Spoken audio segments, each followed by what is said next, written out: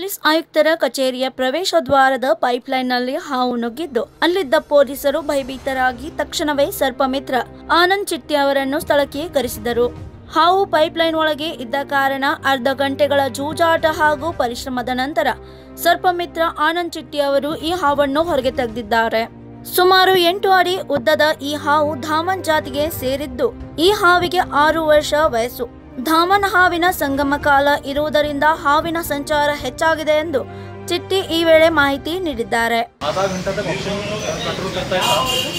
और उसमें तजुर्बा भी काम आता है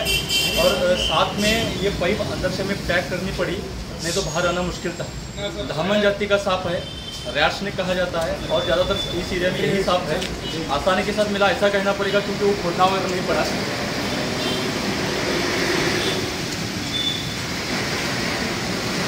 एक डर रहता है कहीं पर भी हो और साफ़ साफ़ होता है यहाँ पर तो कमिश्नर साहब का ऑफ़िस है उसको कुछ पता नहीं है उन बड़े छोटे माता ने जैसे मैंने शुरुआत में कहा था आ, लेकिन वो ना हो ये कोशिश करने के बाद पानी हमने पैक किया और बाहर उसको आने का रास्ता नहीं था और अपने तजुर्बे के अनुसार उसको मतलब फ़ील्ड लगा के मुझे पकड़ना पड़ा। लगभग छः साल का साफ़ हो सकता है। अमन का अभी भी मेटिक सीज़न है तो साफ़ बड़े पैमाने में बाहर निकलते हैं। तो ಮಹಾದೇವ್ ಪವಾರ್ ಕನ್ನಡಮ ನ್ಯೂಸ್ ನೆಟ್ವರ್ಕ್ ಬೆಳಗಾವಿ